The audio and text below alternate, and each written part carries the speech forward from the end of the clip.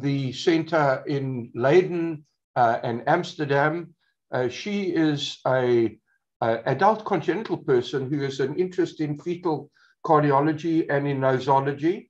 And she is going to talk to us this morning about the development and morphological classification of common arterial trunk. And I note that she has used the appropriate term uh, to define this condition.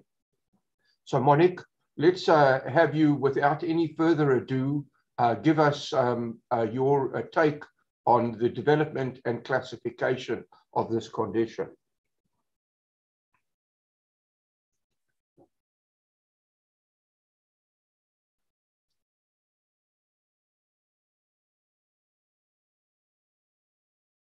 you have yes. to share your well, screen. Yes, yes. Thank you very much. I'll share my screen now. Okay, so um, one moment, please. Um, I think in sessie zat een live sessie bij. Okay, someone please. Um, can you see my screen?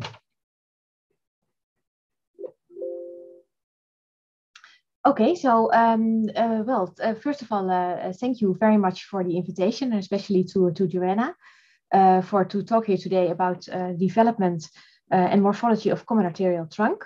Can you see my full screen just to check? Dr. Silverman, maybe you can uh, you can tell me if, if my full screen is visible or only yes, part of the screen. Yes, perfect. Yes, okay, thank you very much. Thank you very much. Um, so I have a little bit problem myself, yes. So common arterial trunk is defined as a single arterial trunk that leaves the heart by way of a single arterial valve and that gives rise directly to the coronary, systemic, and one or both pulmonary arteries. And according to the segmental sequential analysis, there is a single outlet ventricular arterial connection. During normal development of the outflow tract, the developing heart tube is initially unseparated and therefore needs to evolve from a single tube to a dual vascular structure, uh, which necessitates septation at several levels. And below here, you can see the septation at, um, at the level of the valvular level. And as we will see later on, there are um, several key players. And uh, two very important key players that we'll, we will hear more about are the neural crest cells and cells of the second heart field. This animation shows this process of the development of the embryological heart that starts out as a single tube and that will grow and remodel to a fully septated heart um, with here the remodeling and the positioning of the outflow tract that will be wedged uh, in between uh, the both, uh, both atria. From a pathomorphological view um, of the common arterial trunk, there is a defect at three levels.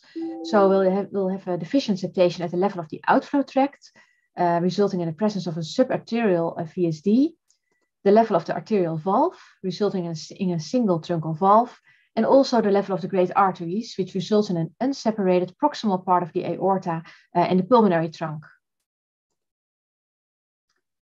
The embryological structure responsible for uh, proper separation of the outflow tract is the so-called aortopulmonary septum.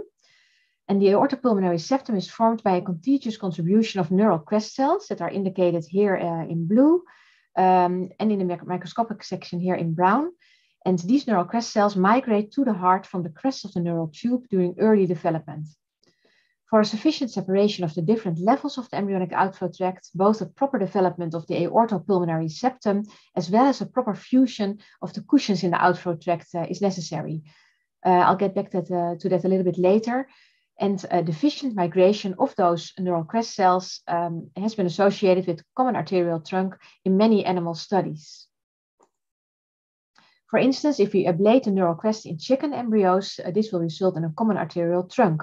But also in, uh, in mouse uh, models, we have seen this, uh, this occurring, but it is uh, very important to realize that in the past decade, we have also learned that neural crest cells uh, are not the only cells involved in development of common arterial trunk. And in fact, common arterial trunk can occur also in the presence of intact neural crest cell contributions. And a nice example is shown here.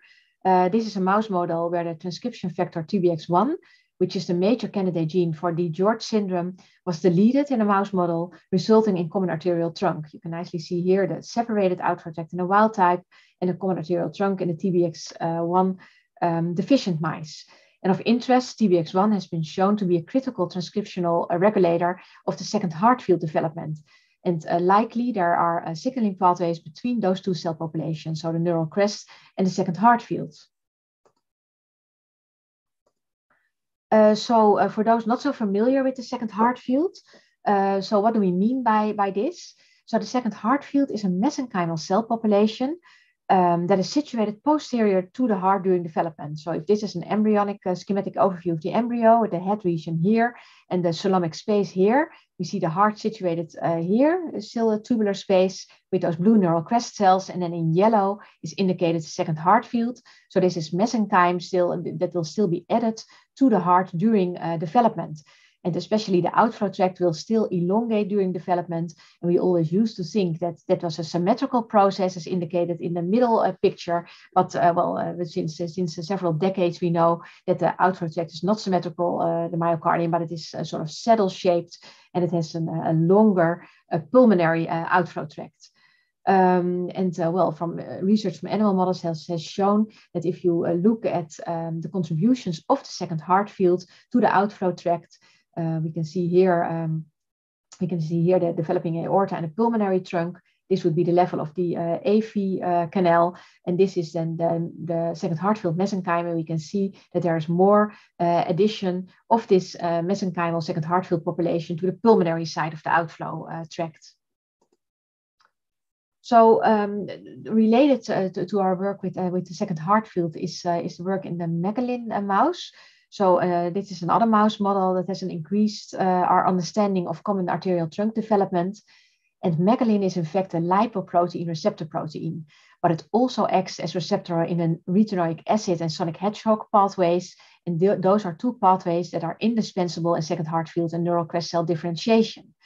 And uh, well, this is work from several years ago when we studied the effect of megalin knockout on the heart and uh, found different outflow malformations, including coronary arterial trunk. And again, you can see here the wild type with a separated pulmonary trunk and the aorta in here 3D reconstructed, and in a knockout embryo, a common arterial trunk uh, with here the 3D reconstruction. So to finalize the, the part of uh, the embryological part, I would like to show you uh, here the working model uh, that was formulated and uh, Professor Dr. Gittenberger de Groot had a very big uh, um, uh, role in conceptualization of this working model um, of common arterial trunk formation from an embryological point of view in this knockout mouse. And uh, on the left, you see a simplified scheme of the heart, with in blue the developing uh, pharyngeal arch artery, the six pharyngeal arch arteries that will later contribute to the arterial duct and the pulmonary arteries. Um, and in red, you see the still unseparated outflow tract. Uh, so this would be anterior and this is posterior. In yellow, uh, again, is indicated uh, the second heart field. Uh, and that is located posteriorly, both in the wild type embryo above and in the knockout embryo, in sort of a mid-sagittal location. And what we see is that the second heart field contributes to what we call a so-called flow divider, which is basically a ridge that you can also recognize uh, in the embryo um, in, the, in the midst of the outflow, of the developing outflow uh, tract, uh, tract initially. Um, and um, you see it in between both pharyngeal arch arteries, uh, and the left of which will become the arterial duct. Now, if we look during further normal development, what we see happening in these embryos is that uh, the second heart field, including this flow divider, uh, will um, will uh, remodel and it will extend and shift more uh, towards the left side. Um, and uh, so the, here giving rise here to the left pulmonary outflow tract. And this process is, uh, is quite important because it also makes room for the neural crest cells that will migrate towards the heart in this, in this orchestrated time fashion. Um, and we see that the neural crest cells will migrate to the heart to the right of the second heart field towards the outflow tract cushions that are indicated in light uh, pale blue, and uh, they will contribute to the aortopulmonary septum. So this, this green halter uh, indicates the pulmonary septum that now, um, the aortopulmonary septum that is now situated in between the aorta and the pulmonary trunk, with the flow divider still here um, present between the developing pharyngeal arch arteries. So what we saw happening in the uh, knockout mouse is that this remodeling um, didn't occur and the flow divider stays in the mid-sagittal position. So the remodeling towards the left does not occur and the neural crest cells take or must take, in this case, a diverted route to the heart, resulting in a maldevelopment or malpositioning of the outflow septum of the uh, septum and thus resulting in a common arterial trunk. And uh, this is basically, uh, yeah, of course, uh, well, hardcore embryology uh, conceptual um, findings in, in this particular mouse model um, uh, and what we could see in this uh, in this model is that we could also see that the, the different morphologies of pulmonary arteries um, were visible and that's depending on the amount of division by the flow divider either with a short stem or with separate ostia. Um, so um, together, um, taken together, these, these anatomical variability, we also, of course, we also see that uh, in humans that I will get to later. Um, uh, this uh, anatomical variability also uh, was the basis for the wish of several morphologists and clinicians to develop more systems that could classify different subforms of common arterial trunk in groups in order to recognize their morphology. And what, what I would like to do in the remainder of this, uh, of this talk is to take you a little bit through this classification of common arterial trunk, which actually has quite a long history and quite some uh, different names of, uh, of morphologists attributed to these different classifications. And we start with the Collett-Edwards classification, very well known, um, that was developed in 1949 uh, already. And Collett and Edwards uh, initially defined four types of common arterial trunk. There were actually types one to three, that refer to the mode by which the left and right pulmonary arteries arise from the trunk. Uh, so type 1 with a short, short pulmonary trunk. So this would be the, the truncal valve, short pulmonary trunk, giving rise to the LPA and the RPA. Uh, type 2 with separate orifices, so no trunk, uh, uh, spaced closely together, and type 3 where uh, the orifices are widely spaced. And nowadays, there, uh, there was initially also a type 4, but type 4 we nowadays do not consider uh, a common arterial trunk anymore. So basically, uh, this is the case where both pulmonary arteries and the pulmonary trunk are absent. Um, and the pulmonary circulation is supplied completely by aortopulmonary uh, collateral circulation. So this is not, this we, don't, we do not consider a, a trunk anymore. So, uh, well, what does it look like uh, in, a, in, a, in a true human heart? So I would like to take you uh, through several morphological subtypes. And what we see here is Collett-Edwards type 1. Um, so I'm going to show you the heart, and maybe it's good uh, for those of you not used to looking at those morphological hearts to tell you a little bit about how you're how I'm presenting these. So what I will usually do is I will always present the heart from an anterior view, and we usually cut the hearts um, parallel to the ventricular septum. So with two vertical cuts, so when you open the heart, you can get a look either into the right-sided ventricle or in the left-sided ventricle. So that has also been done in this uh, in this uh, child's uh, heart. So this would be the left ventricle, the right ventricle, and the level of the interventricular septum. And you can see here the level of the outflow tract. And you can already see there's basically one vessel departing from the heart. Uh, and we're going to look a little bit closer later, uh, later on, but we're going to first have a look inside the ventricles. So and look inside to the right ventricle with the tricuspid valve. This is the level of the VSD, usually subarterial. We'll get back to that later. And we have here uh, the left uh, ventricle with here the mitral valve and the VSD is seen from the left. And we're going to now have a look into the, uh, the pulmonary trunk. So we have here the systemic part of the pulmonary trunk, the, the aortic part recognizable by the aortic arch tributaries as being probed. And here going towards the descending uh, aorta. And we're going to uh, enter here the pulmonary part of the, of the trunk. And we can see here there's a common orifice that gives rise the access to the left pulmonary artery, but also here, you can see there's only one orifice here, right here. And it also gives rise to the right pulmonary orifice. You can see nicely here a coronary orifice as well. We're also going to have a look inside the, the valve. So if I tilt the heart, we're looking from superior, and we see that there, in this case, there's a tricuspid truncal valve uh, here. So one common valve to supply the blood to both the systemic and the pulmonary part of the, uh, of the trunk. So uh, let's have a closer look at the VSD for, uh, for, for, in this slide. So the VSD is usually an outlet subarterial uh, VSD with a muscular posterior rim. That's the most frequent. You can see the VSD here. So the superior well rim, as you if you may, may say, is the truncal valve. So anteriorly, the VSD is bordered by the primary uh, part of the ventricular septum, and the posterior uh, rim can either be muscular, which is most common. So that would basically be a continuation of this structure here, the ventricular infundibular fold, towards the trabecula septomarginalis. Um, but it can also be fibrous uh, in, in a, a, little bit less common.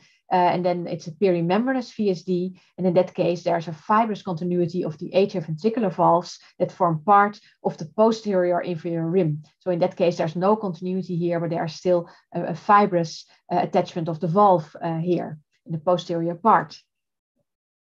We also see quite common coronary variations and anomalies, like about 64% in our own series, and that can have quite a quite a, a large variability. We can see high takeoff, single coronary arteries, also a coronary ostia positioned near valve commissures, uh, absent left main or double coronary orifices, but also ectopic positions uh, well above the tubo uh, uh, sinotubular junction. And then is this, this picture shows, for instance, the proximity of the coronary artery to the pulmonary artery. And there's well, some more listed here, and we've summarized them all in um, a consensus document that was published last year that we worked on together with, uh, with Joanna and, and a working group on, a, on the management of patients with common arterial trunk.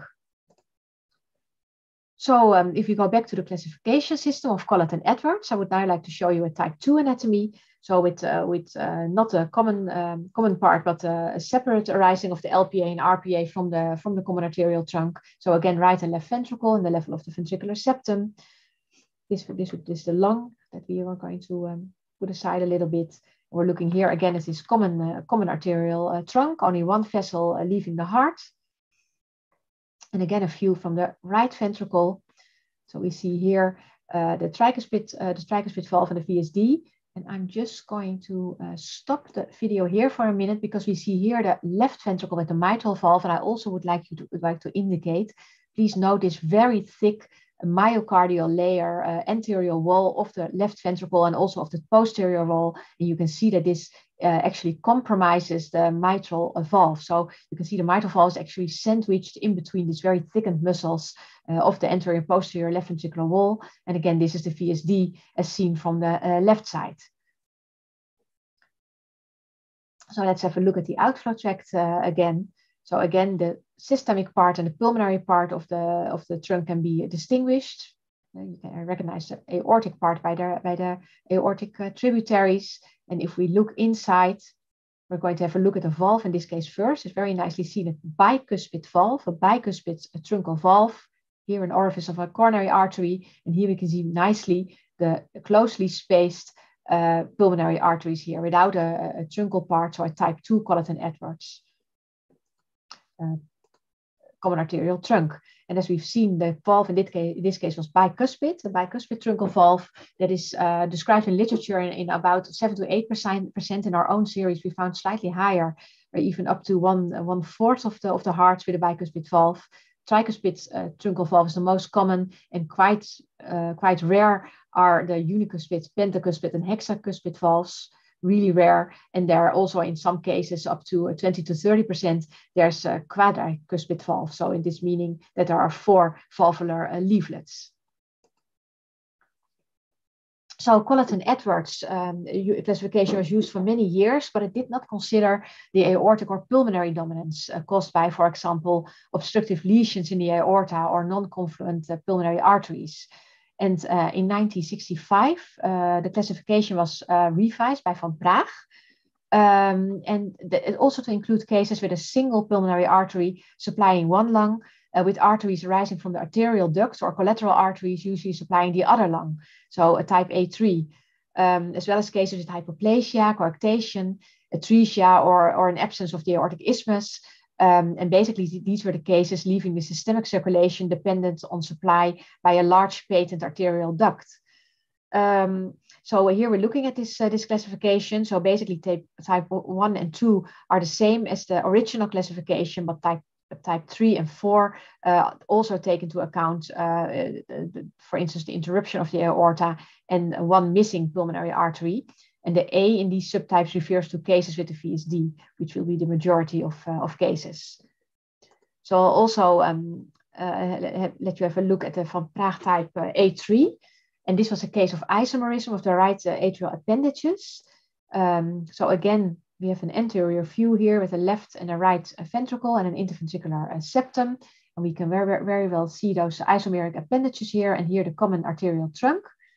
So we have here the brachiocephalic uh, trunk, first uh, vessel, and here the, the carotid uh, artery and the left subclavian uh, artery uh, here, and the descending aorta here. So if we look at the, at the pulmonary arteries now, we see one branch, one posterior branch supplying uh, the right lung. But what, what, what we could not find was a branch supplying the left lung. And um, basically we don't have so much. I, am not, not sure this is the best example, but this is at least one heart in which we could uh, find one absent pulmonary artery. And what you do as a morphologist, we started looking for a supply to the to the left lung. So now we're looking from the dorsal. So left is indeed your left hand. And here in the descending aorta, uh, there's an orifice of an uh, of an artery. And indeed, there, there is uh, one, uh, one branch one collateral branch coming from the descending aorta towards uh, to supply here uh, the left lung. So we classify this as a type A3 um, in the Van Praagh uh, classification. So a minor simplification of the classification system was made by members of the Society of Thoracic Surgeons um, and the European Associ Association of Cardiothoracic Surgeons in 2000, uh, combining type 1A and type uh, A uh, of A1 and A2 into uh, one single type to, class- to simplify the system slightly. It was not a major uh, change, but, um, but uh, a substantial change was made uh, later on in 2011. Um, uh, and that was uh, that was a change that uh, that encompassed no no longer using types one, two, or three, but basically naming two subtypes. so a common arterial trunk, either with aortic or with pulmonary dominance. And then the aortic dominant type uh, would have adjacent or nearly adjacent pulmonary arteries from the posterolateral aspect of the common arterial trunk. And basically, um, a pulmonary dominant type would be uh, when the distal systemic circulation uh, is dependent on patency of the arterial duct, so such as encountered in cases of interruption of the aortic arch uh, or coarctation.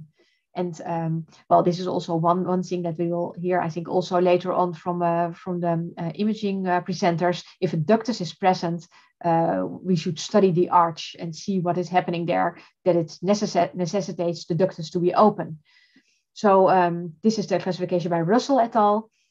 Um, and uh, well, a final movie to show you um, to show you uh, about this uh, classification. This is a case with pulmonary dominance with an aortic interruption type B.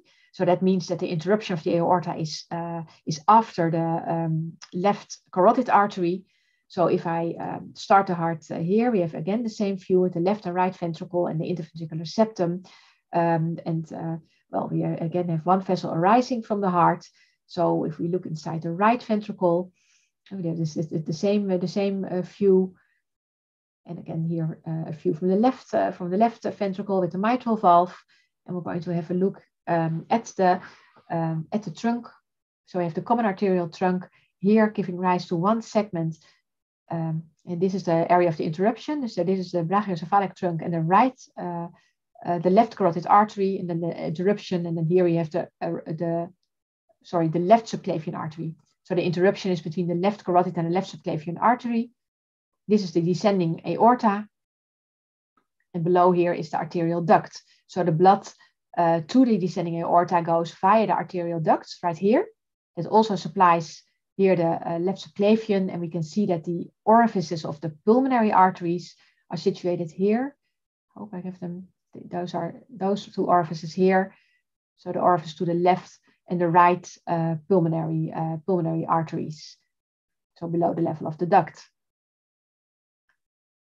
So an aortic interruption type B with a distal systemic circulation dependent on the arterial uh, duct. So a Russell et, a Russell et al. classification would just call it a pulmonary uh, dominance. So, um, so if we, uh, well, well, like I said, if you see an open duct, it's important to study the aortic arch and what kind of aortic arch anomalies can we encounter.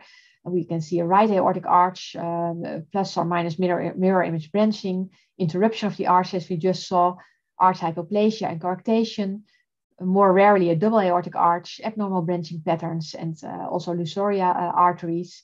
And uh, in general, um, these aortic arch anomalies are more prevalent in the 22q11 deletion syndrome. And I also, uh, in, in, some smaller letters, put aortic dilation here. Um, it's not a real anomaly. We consider it uh, for now a possibly a secondary characteristics, possibly also with some intrinsic uh, anomaly of the aortic wall. Um, so, um, so the, the Russell et al. system that, that describes the, the, the cut as either uh, aortic or pulmonary dominant has advantages. So you can really, uh, yeah, it's congruent with clinical re relevance and it emphasizes the key morphological determinants of surgical outcome. Um, but, uh, but it's also very simple, so it does necessitate an additional description of anatomy, such as details on the pulmonary arteries and other associated anomalies. And I'm sure we'll hear a lot of those anomalies in the remainder of the session. So I've summarized some of them uh, here. So basically, this brings me to the to the end of my my presentation, and I would like to thank my uh, my dear colleagues in uh, Leiden for the great collaboration, especially, of course, uh, my mentors uh, Margot Barteling uh, and Adriana Gittenberger de Groot, who unfortunately uh, passed away in 2020, and who inspired so many of us uh, for many years, and she left a great legacy in the research she devoted her life on. And to finally, also my my daughter Emma filmed all those beautiful hearts with me, so I also want to acknowledge her. Thank you very much for your attention.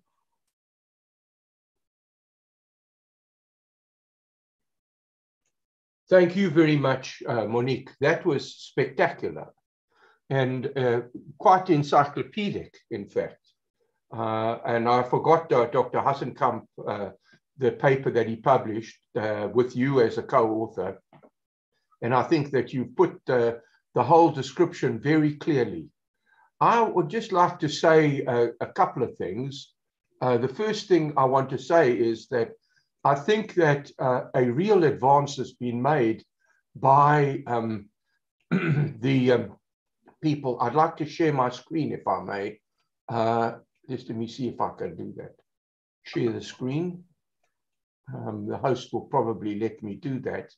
Um, I'll just uh, make a little commercial. I have a, a paper out here in um, uh, in the, the Congenital Heart Academy where I've discussed the echopathological correlations of transposition. Uh, I don't know whether you can see this, but here it is. And the, uh, the website for getting to this is www.md1, the number one world.com. And there's uh, pretty much the same sort of uh, collection of specimens, but I think uh, also very nice and worthwhile for looking at. I think the most important issue, um, I still have to share my screen again.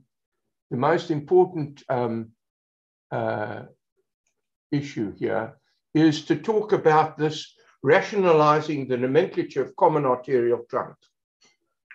And I think that, uh, that this paper by Dr. Marshall Jacobs and Bob Anderson, uh, published again in the Cardiology in the Young, uh, and uh, relates to the work of Russell on classifying the structures into just two simple types. And the advantage of doing that is that uh, there are a number of issues that are important in terms of the classification. And the, the classification, if I can just, uh, can you see the screen? Yes, yes. Let me just give you this picture over here, which I think is the bottom line. There we go is you can classify the trunk, common arterial trunk, into two separate types, as you showed with Russell. I think this is a very nice diagram.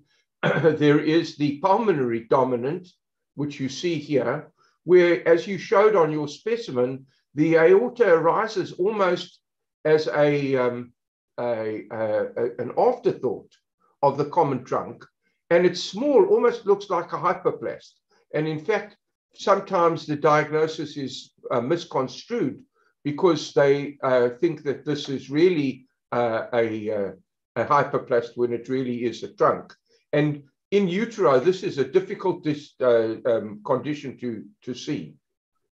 So in the pulmonary dominant, the aorta is small and is interrupted usually between the uh, uh, left carotid and left subclavian arteries. And this is the difficult area to, to identify. Now, what is the other reason for making this differential is the prognosis and the treatment of this condition is much worse than the aortic dominant, where here is the aortic dominant variety. And so uh, it, it is important in a number of uh, places to make it. It's also much easier to make this diagnosis. And this missing of the interrupted aortic arch in utero is a problem. So those are the only two things that I have to say. I thought your presentation was really quite spectacular. And I've uh, saved all of the pictures. And I think that for the benefit of the participants here, uh, this uh, um, um, whole recording will be um, uh, put up on the Congenital Heart Academy website, and we'll be able to look at you again and again. Uh, let's see, are there any questions? I don't see any questions uh, on this over here. So in that case, let us move on to uh, the next talk. And the next talk is given by my very good friend, Dr. Joanna Dangel, Professor Joanna Dangel, who's uh, the head of uh, the fetal center at uh, for post uh, med, postgraduate medical education in Warsaw, Poland, and certainly um, one of the great uh, um, fetal cardiologists in the world today. And she's going to talk about the crucial issues in the prenatal diagnosis. Joanna, let me stop sharing my screen. And oh, I've stopped. And uh, can you share your screen and begin your presentation?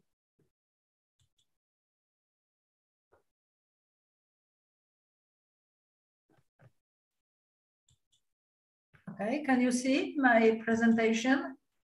Yes, we can. Uh, okay, thank you, Norma, very, very much for such kind invitation. And first of all, I would like to, to thank Rima and the whole Congenital Heart Academy that they invited us uh, to share our knowledge with the uh, audience.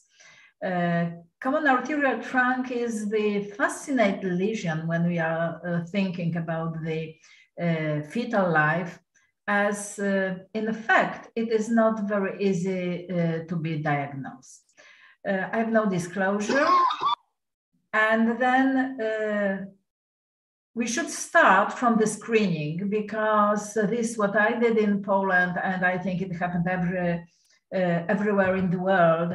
Uh, we started to have more and more fetal heart defects uh, uh, from the time when we taught uh, obstetricians how to look at the fetal cardiovascular system. So in the screening, the first uh, uh, clue for diagnosis of the any kind of truncal defect, and especially common arterial trunk, is the cardiac angle, which in the trunk is uh, close to 90 degrees. Then we are looking for the four chamber, which is looks entirely normal apart from this very hard left axis deviation. And then we are moving to the mediastinum and this mediastinum is quite typical. However, it can be missed for the tetralogy of Fallot with very hypoplastic pulmonary arteries. What is important for the obstetrician and fetal cardiologists as well, we have to look at the thymus. So the first thing we have to look how far from the anterior part of the, of the chest is uh, are the vessels and here are very close to the anterior wall. So the uh, hypoplastic thymus is very very likely. So screening unfortunately is just the beginning of the final diagnosis. So as we wrote those questions in our uh, mm, consensus document we have to ask ourselves uh, some questions how to distinguish between common arterial trunk and tetralogy of Fallot with pulmonary atresia. It is easy after birth. It is quite complicated before. Uh, what to look at the full chamber view apart from the angle? Are there any other clues like in transposition uh, with the bidirectional flow in the um, foramen ovale? Uh, if any genetic and if uh, what kind of genetic tests should be performed, what are inform, uh, in, important informations for the parents, and what informations are necessary for the peri perinatal management. All those questions should be answered before delivery.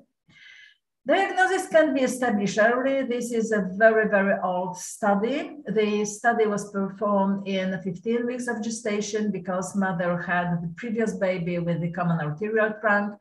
Uh, we can see uh, four chamber, not very well, but certainly it is four chamber view with high angle and the, uh, the apex is down and just one vessel is uh, going up, as you can see here with quite high, uh, uh, with normal velocity. In this part, we of course couldn't distinguish between the pulmonary atresia and common arterial trunk. Let's uh, show the examples. Uh, it was 30 year old lady and her first pregnancy was two years earlier, and uh, it was diagnosed of interrupted aortic arch and DiGeorge syndrome. And due to this, uh, the mother was uh, tested, and she had DiGeorge syndrome as well, which she didn't know until she was 30. Uh, this baby was born in 32 weeks of gestation and unfortunately died because couldn't be operated on. So the decision before the second pregnancy, knowing that the mother had DiGeorge syndrome, was the pre-implantation genetic test, and it appears to be normal. So she was sure that the normal embryo was implant implanted. However, in 15 weeks of gestation, she came to my unit. And then we see the not completely normal four chamber with the left axial we can see nicely developed both ventricles and we can see just one vessel arising uh, over the VSD with not very, with slight insufficiency of this uh, valve. And here we can see, uh, remember, this is 15 weeks of gestation. The most probably the dominant aorta and most probably just over the trunk uh, short uh, pulmonary trunk with the pulmonary arteries. It was like so at that time. In 23 weeks, this uh, uh, picture was uh, much better. Uh, the valve, which we thought it was truncal valve, was not very bad. Uh, and we can see here something like the pulmonary arteries arising just over the valve. Uh, so then we put the diagnosis of common arterial trunk. However, ex post, when we're looking for the aortic arch, here we can see some vessels, which can be, of course, uh, uh, the uh, main uh, aortopulmonary collaterals, which we missed during this exam. Uh, you can imagine how difficult the consultation with the mother was, who was sure that she's going to have the normal baby. And uh, basing on this exam with uh, no thymus, with this kind of anatomy, we were almost sure that this baby will have DiGeorge syndrome as well, but the mother refused to do genetics test before, uh, before birth. The baby boy was born in 30 weeks of gestation, unfortunately a bit earlier due to polyhydramnios. Uh, the weight was 2,400 grams and diagnosis was pulmonary atresia VSD with hypoplastic pulmonary arteries. So those small arteries we saw, they were in fact the pulmonary arteries which was filled mainly uh, through the uh, collaterals because it was not really very big uh, or even small arterial duct. And the baby was confirmed the, DiGeorge syndrome as well. So once more, we should ask ourselves the questions, why pre-implantation diagnosis was wrong and why the prenatal diagnosis was common arterial trunk and not pulmonary atresia. So I would like just to um, show you some very, very similar pictures when you look at this picture and this picture without the color, they looked very, very similar. When you look at this picture, you can see that the aorta and pulmonary artery are filled in different colors. So we should assume that the pulmonary arteries are filled retrogradely through the arterial duct. Uh, whereas in this um, uh, picture, you can see uh, similar pulmonary artery. However, they looked a bit different, as you can see. and they are filled the same color as the aorta. So this is the first thing we should really see very careful when we have the uh, anatomy like this. Uh, then uh, we should really look at the direction of flow once more. The retrograde uh, filling of the pulmonary artery with quite turbulent flow, uh, we can see uh, here. And then, of course, it's turbulent flow backward. And then, of course, um, the flow is towards the lungs. And here is the common arterial trunk. And then we can see that the through the truncal valve, uh, the blood is going to the aorta and to the short truncus and both pulmonary arteries. So it is different, but it is different when we know that really this is the diagnosis of the trunk or pulmonary atresia. But during the exam, it is not uh, very easy. Uh, so just basing on the, our um, unfortunately still unpublished uh, uh, data. Now, published are the tetralogy of Fallot, but unpublished are the our material about the common arterial trunk. Uh, in all three, on all both lesions, we had abnormal cardiac axis, sub subarterial um, VSD, and one vessel overriding VSD. Majority of people said, "Oh, this is the aorta," and of course, we don't know if it's really the aorta. Uh, in common arterial trunk, uh, more common the aorta uh, uh, dominantly uh, came from the right ventricle, not just entirely over the VSD. And of course, in the pulmonary atresia, we should have reverse flow through the ductus arteriosus in the mediastinum. We should see the confluent narrow pulmonary arteries uh, and uh, we can find uh, uh, collaterals, not always, but we should uh, search for them in both of those uh, uh, lesions. in super, in common trunk, we should look at the valve because if we have the insufficiency and slightly dysplastic valve, uh, it uh, most probably is the truncal valve. So I think that it was the main reason that we mixed both diagnosis in this previous case because it was for the whole pregnancy, it was not big, but slight insufficiency of the truncal valve, of the uh, arterial valve, which is quite unusual for the tetralogy of Fallot. Uh, usually the velocity is higher than in the um, tetralogy of Fallot the aorta, and size of the arterial valve is always uh, more than uh, plus three z score. So it is bigger than the aorta. So these are just simple clues how we can distinguish in prenatal period the uh, pulmonary atresia from common arterial trunk. So now uh, a few examples. Uh, once more, the truncus uh, and uh, nicely uh, developed uh, pulmonary arteries. In 24 weeks, we can see certainly one pulmonary artery, but we don't see the other one. So we should search for this other one pulmonary artery. It shouldn't be like this in the um, tetralogy of Fallot. And then when we are going from uh, the four chamber view to the mediastinum, uh, in contrary to the previous cases, in this case, we can see nicely uh, developed uh, thymus. And here is nicely developed thymus. So the risk that it will be the, um, the DiGeorge syndrome is fortunately uh, very, very low. And as we can see, the velocity in the uh, through the truncal valve is almost 1.5 meter per second, which is quite high. We can see nicely uh, uh, coming from uh, the uh, tr truncus, uh, the left pulmonary artery. We can't see the right pulmonary artery.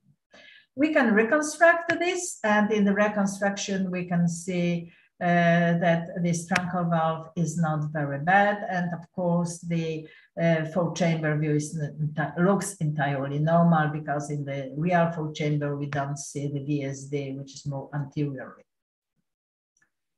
Uh, then we have to remember uh, then um, truncal valve, uh, truncal valve can deteriorate its function during, uh, during gestation. Uh, and here we can see very, very dysplastic truncal valve. Uh, in 22 weeks of gestation, it is 1.5 meter per, per second, so not very bad, and without insufficiency. So we hope maybe it will be possible to repair this. Uh, unfortunately, in 36 weeks of gestation, we have already more than two meter per second, the velocity through the truncal valve, and not severe, but uh, rather mild insufficiency, but we must remember that just after birth, both uh, stenosis and special insufficiency uh, can deteriorate uh, due to the fact that the um, this valve should uh, lead the uh, flow against the much higher resistance than during the fetal life. So we must remember that such dysplastic valve can really cause severe neonatal insufficiency. Uh, how it was, uh, uh, it is important to know that the uh, fetal series are different than the surgical series because many fetuses just do not survive uh, to delivery and some of them don't, don't survive until operation. Uh, this is the work from 203, 23 cases of uh, arterial uh, tra uh, trunk, about one third termination of pregnancy.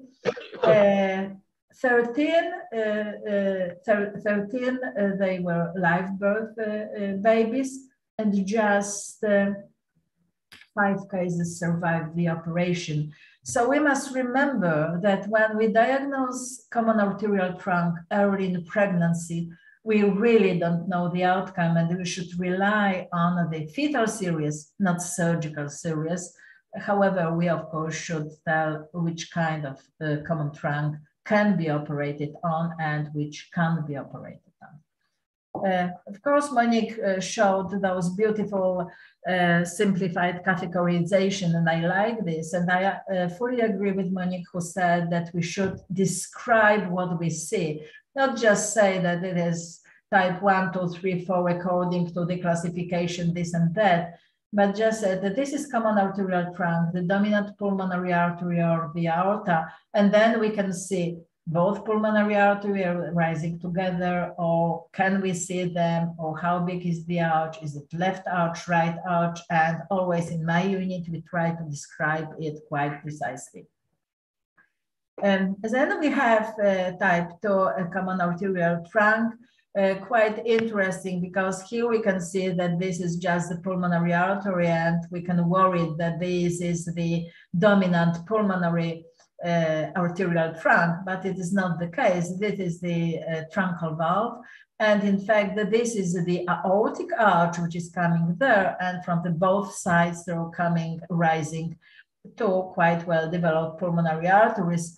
It looks quite nice, but not having the even short pulmonary trunk, of course, it will make uh, the surgeons more work than in the other type of, uh, uh, of the trunks. Uh, in 29 weeks, we can uh, see uh, once more. Uh, it is the interesting uh, situation because we can see aortic arch. However, we know that it is truncus, but here from one pulmonary uh, branch of the pulmonary artery, there is the small duct as well. It was quite um, strange findings. Uh, then, of course, the uh, much more complicated situation and uh, uh this which we should know before um, delivery because in majority of cases common arterial trunk is not uh, ductal dependent lesion. Once more um, close to normal uh, for chamber view. However, the heart is a bit bigger than it should be. Uh, unfortunately, quite dysplastic uh, truncal valve, uh, high And now we have to think if it is uh, aorta or is it pulmonary artery? And in this case, this is the uh, pulmonary artery and this small vessel here coming, it is the aortic arch, which is uh, interrupted. So this is one of the most difficult uh, case, which I thought that is uh, the lethal disorder because it was severely dysplastic valve and very narrow uh, uh, ascending out and quite uh, big distance between this interrupted arch and the lower part and the descending aorta. Um, uh, then uh, the uh, much better case than the previous one. This is the common arterial trunk, once more normal four chamber view with the interrupted aortic, aortic arch and fortunately uh, fortunately uh, good truncal valve. Here we can see, of course, in this uh, view, we must think, is it the aortic arch or is it the ductal arch?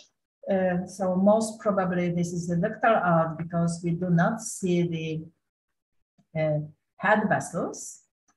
Uh, and I think that it is just the picture like uh, this scheme. Here, uh, this is the trunk, this is the ductal arch, and this, this is the interrupted arch, just uh, uh, two uh, head vessels arising from, from the common arterial trunk, of course, very, very difficult case to be operated on.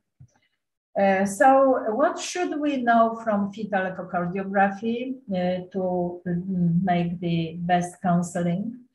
Uh, we should First of all, know, of course, the kind of the uh, uh, of the truncus, but then the crucial thing is the morphology of the truncal valve, uh, because it is crucial for the development and neonatal outcome as dysplastic truncal valve with severe stenosis and special insufficiency, uh, according to my knowledge, had a very, very bad outcome. Uh, and then most very important uh, situation is to know if it is ductal dependent or no. The ductal dependent will be if we have the interrupted aortic arch. Then of course, uh, genetic is very important. Uh, prevalence, uh, uh, as you see, is not very common. However, in our units, it is common. Recurrences is about six to 7%. Genetic problems, a bit more than about one third of the patients with common arterial trunk had DiGeorge syndrome, but they are GATA 4, GATA 6, uh, and rarely trisomy 13 or trisomy 21. These are just occasionally uh, findings. And I will show you quite interesting study of one family mother. Uh, it was uh, many years ago when I met this mother who came mm, for fetal echocardiography because she was operated on due to ASD secundum.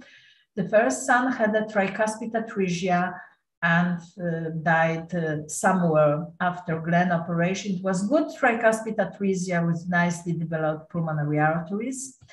It was spontaneous abortion in second and third pregnancy, and in fourth pregnancy after um, IVF, it was female fetus. And in 16 weeks of gestation, uh, common trunk with good truncal valve, well-developed pulmonary arteries and normal genetics uh, with excluded DiGeorge was uh, established. Uh, the baby girl was born in a good general condition and was really in good condition for eight, day, eight days and died suddenly in eight day of life resuscitation, just the heart didn't respond for any resuscitation. And uh, in the autopsy, it was congenital pancreas aplasia. Then the mother uh, had MRI, and it appears to be that she had a partial agenesis of the pancreas. And then, because it was DNA of both babies, uh, it was the mutation of GATA6 gene and uh, it was in the mother and both kids. So we must remember that if we have the familial cases, we should search not only microarray, but probably more profound genetic uh, exams. Uh, so during counseling, especially in early pregnancy, we must, we can't be very optimistic. We shouldn't be very pessimistic, but we can't be very optimistic, like in this case when we have quite well uh, developed, uh, very slight uh, insufficiency of the tricuspid valve. Uh, unfortunately, we have the um, truncal valve dysplasia, um, suspicion of the not uh, perfect uh, flow in the um, ductus arteriosus, quite high velocity across the truncal uh, valve and uh, quite high velocity of the um, tricuspid insufficiency for 21 weeks of gestation. Truncal valve is more than four meter per second. So unfortunately, we were thinking that it is likely that uh, the uh, circulatory insufficiency will uh, be profound in a few weeks. Then uh, in 24 week, we can see severe tricuspid insufficiency, much bigger than in 21 weeks, much worse inflow through both uh, AV valves, abnormal flow, completely abnormal flow in the ductus, in the ductus venosus, and we already see the ascites and the uh, slight uh, pulsation in the uh, vein. And then in 29 week, we had almost not contracting heart, huge ascites, and the subcutaneous uh, tissue edema very, very severely uh, developed, uh, severely dysplastic truncal valve. Uh, completely abnormal flow everywhere, and uh, cardiovascular score 3.10. So in such situation, we know that delivering the baby uh, will cause the death of the baby. So we uh, counsel this pa patient uh, that it is really very severe uh, valve, truncal valve uh, stenosis, uh, which gradual deterioration. And in 29 weeks, we counsel those parents that it was the lethal condition so we established perinatal palliative code. We were searching for mirror syndrome of the mother and the baby died in utero three weeks later. The mother had full psychological support and bereavement support after the death of the baby, according to our standards of uh, perinatal palliative care, which uh, are uh, uh which uh, which uh, which is which are available on this web page. Uh, so when the uh, common arterial trunk is diagnosed in fetus, we have to evaluate the cardiac function, truncal valve function, morphology, and we must remember about genetics. Uh, during counseling, we must check the cardiovascular profile score because according to this, we know what can be the outcome of the baby. Uh, we must remember, especially in early pregnancy, that the truncal valve can deteriorate and the fetus can be in a very bad condition, like I showed you. Uh, follow up, we must uh, think how often we should perform fetal echo. We should do it every four to six weeks. Uh, we should have the perinatal uh, plan, so uh, predict the neonatal condition and type of uh, common arterial trunk to give the um, recommendation if uh, what kind of treatment should receive the baby. And of course, it is possible of termination of pregnancy according to the uh, national law. And in the follow, uh, just we should know uh, the long-term follow-up uh, of common arterial trunk repairing. And I must say that from Canada and Australia, uh, those neonates uh, were, uh, the results were really good, but I think that we can't rely just on this counseling the uh, fetal arterial trunk because some of them just cannot survive until they will be operated on. So in conclusions, we can make quite precise diagnosis of common arterial trunk. However, uh, sometimes the distinguish between the common trunk and pulmonary atresia is quite difficult. It enables to plan the perinatal peridion. We must remember about the genetic testing, um, at least microarray, but at the moment, especially in the second pregnancy, we think about doing the more um, advanced genetic tests. Uh, from my point of view, and I reviewed all our cases, uh, none of the babies with, with severely dysplastic truncal valve survived. So I think that it's uh, unfortunately lethal disorder. Uh, it deteriorates during pregnancy, and the situation of the fetal hydrops can be dangerous for uh, the mother. So we have to uh, be in touch with the obstetricians and remember about mirror syndrome and uh, prenatal and prenatal uh, follow-up and long-term follow-up should must be known while counseling the parents expecting the baby with common arterial trunk. Thank you for your attention. Thank you so much, Joanna. I'm, I'm sorry. Um, uh, I, I joined late. Do you hear me? Yes.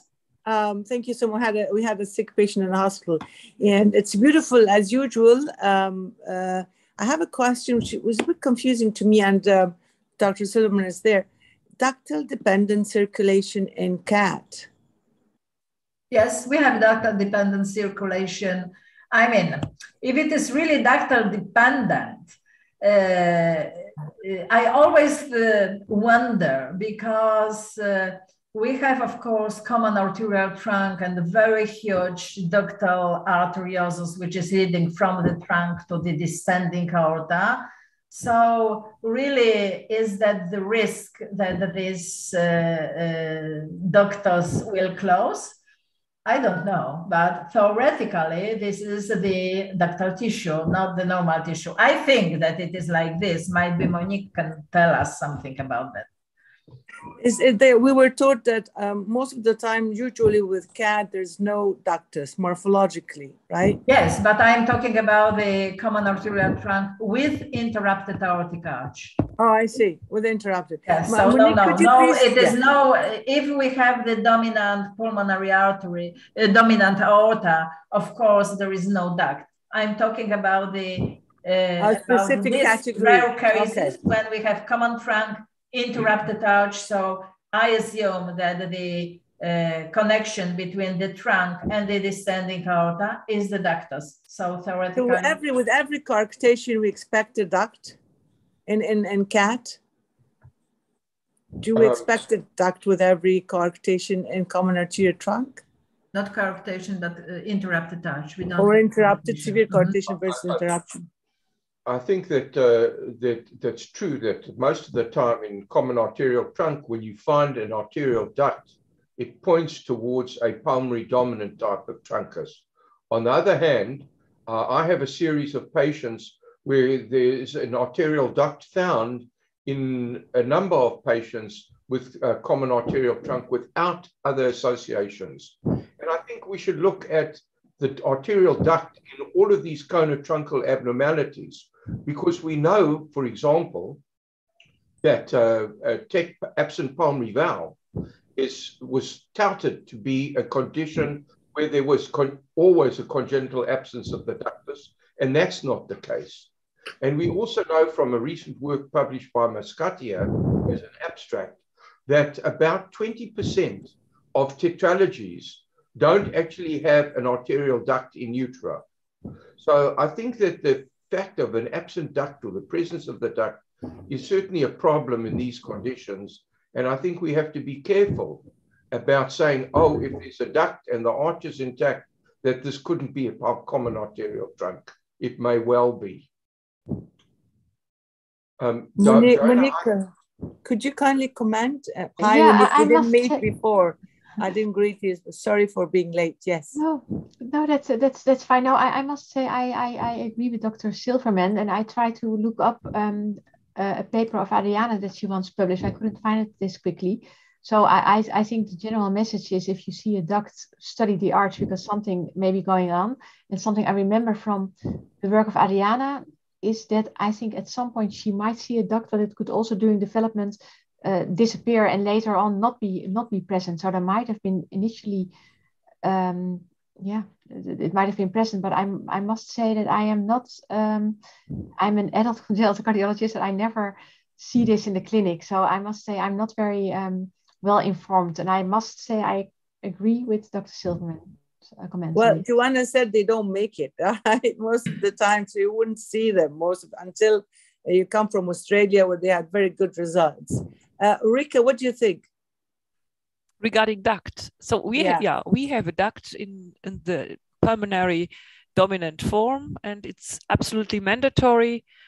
Uh, so if the so this is the first thing. The second thing is sometimes in these forms we also have aortopulmonary collaterals to pulmonary, pulmonary arteries, which is also um, so uh, not usual, but this can also happen. So we have very careful uh, assess uh, the neonate with or the fetus with complex uh, forms, not type uh, A1 or type 2, type A2. So if it goes to A3 uh, um, or let's say um, pulmonary uh, um, type uh, cat, we have to be very careful. Look for any so, so simply, simply, Rika, simply, we try to understand and teach ourselves and the others. You're talking about the um, cat with problems in the attachment of pulmonary arteries, or you're talking about the cat with interruption? Because Joanna was saying that with interruption, you expect to have a duct morphologically as part of the uh, CAT and, and uh, interrupted uh, aortic arch. Now you're, you're pointing towards the abnormal and uh, pulmonary anatomy. So which is which now? So you have to have a duct in type in the pulmonary um, uh, um, dominant type, you have to have a duct. But you can have a duct in the aortic dominant form, which former has been called type A3.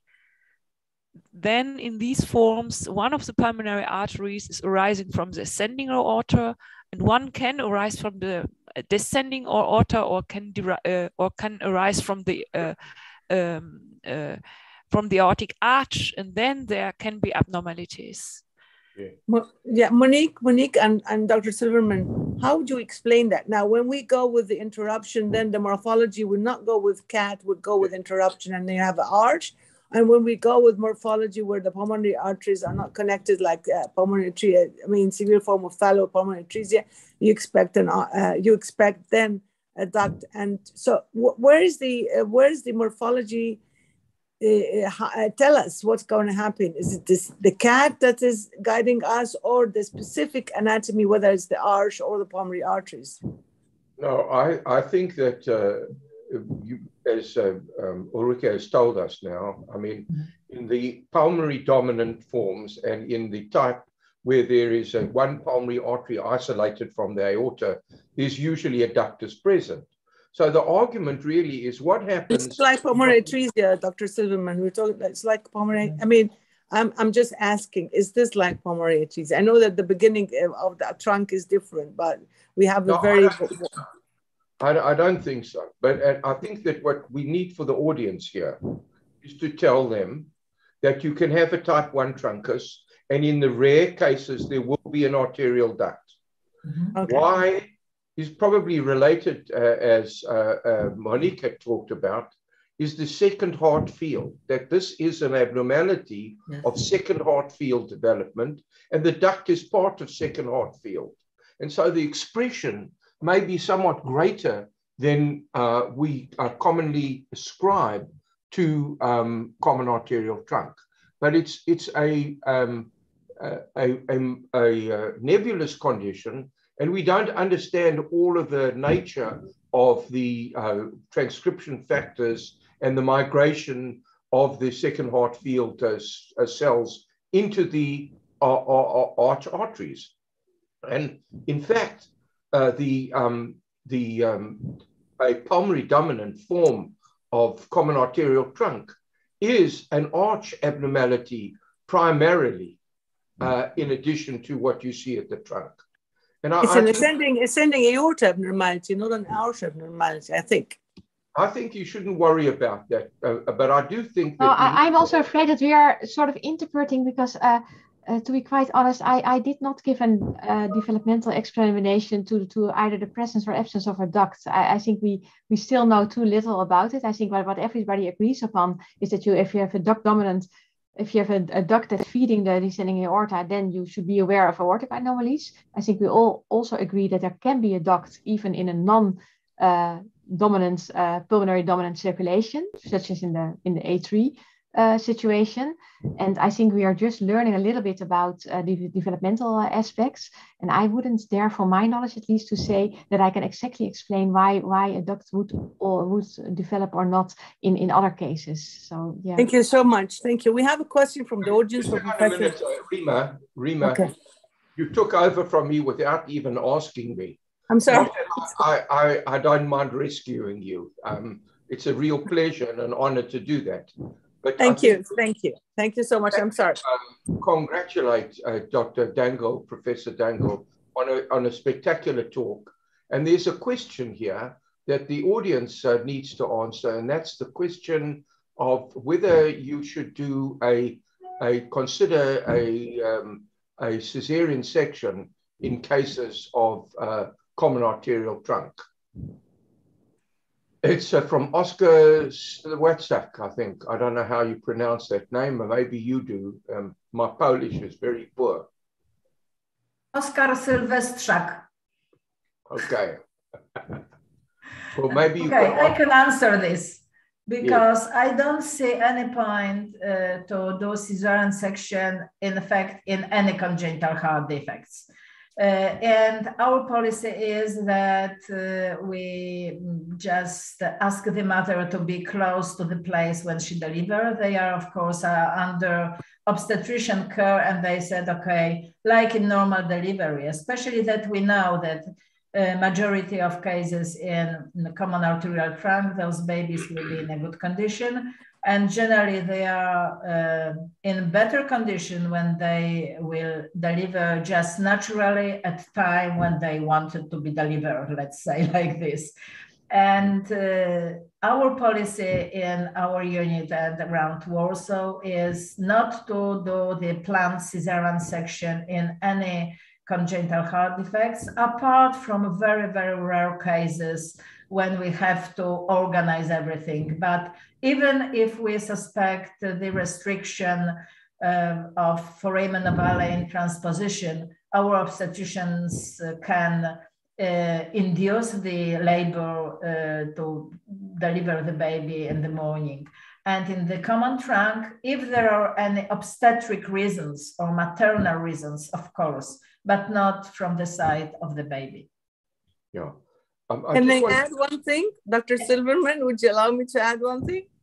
Yeah, I want to. I want to add one thing because I think okay. that uh, you have to consider the the audience here, and I think that uh, you highlighted very uh, clearly for us, uh, Joanna, the difficulty to make the diagnosis sometimes between tetralogy and truncus. Mm-hmm. I mean, and of course there are some other pointers. For example, I think if you have aortic insufficiency, if you find that, it's much more likely to be a common arterial trunk because in tetralogy, the valve is usually okay. The other thing is to look for the monology of Stensen. You know, Niels Stensen, 150 years before Fallot, described in a fetus, in an abortus, a, in the case of tetralogy, he said there was only one abnormality, and that was the anterior and superior deviation of the outlet septum. And I think that when you differentiate tetralogy from truncus, you need to look at the outlet septum. But in the end, you know, it's uh, it's a difficult diagnosis to make, and I think uh, uh, you highlighted it very well. But it's something that you know the audience needs to uh, consider. Now, Rima, you can talk. I want to thank Dr. Silverman for rescuing me today because uh, I mean, for starting the uh, webinar. Thank you again. He's our he's our master. I just want to add one thing uh, which we've learned with the cardiovascular profile score. In the case you presented, the score was three. So what I've learned from Dr. Huhta is that anything below seven is usually um, heart failure and that's an indication for cesarean. Joanna, do you agree to that? Because most of the obstetrician ask um, generally about congenital heart disease if um, and the advice is that uh, delivery at term and assisted delivery from the cardiac point of view. But i would always add the score. Do you agree to that? No i mean uh, when i show you this uh, case it was 29 weeks of gestation. It was severe hydrops and uh, the heart was not contracting at all. So it was the liver disorder. So what was the point to do the cesarean for the baby who will die in the first or second minutes of life? Then we really, it was quite hard work for me, I must say. Of course, nobody of us likes to say this baby is not going to survive. But because my husband established the palliative care for children in Poland, and he developed this uh, very difficult uh, uh, specialization, let's say. And then I know that more and more um, palliative, palliative care in uh, hospital palliative care are in many hospitals in the States because I'm searching for this. So we established the perinatal palliative care for fetuses. And I think that it's just unethical to do this cesarean section for the baby who is going to die just after delivery. So I am against it and I don't see the point. And then we can let the baby die in utero. And we did this. And then this lady delivered uh, normally, yes, vaginally. And then she can have the normal baby in one or two years. Uh, without having the scar after cesarean section. Of course, if from the obstetrics point of view, it wouldn't be possible to deliver the baby due to hydrops, then they have to uh, decide if this baby can be uh, delivered vaginally or not. But it was the small baby, so it wasn't a problem.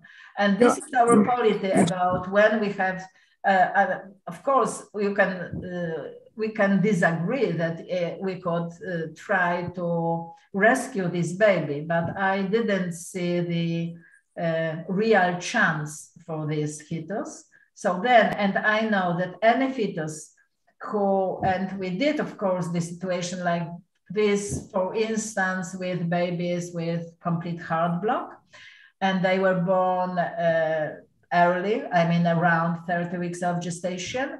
Uh, with hydrops, and we thought that it would be better to deliver them by CC and then try to treat them. All of them died.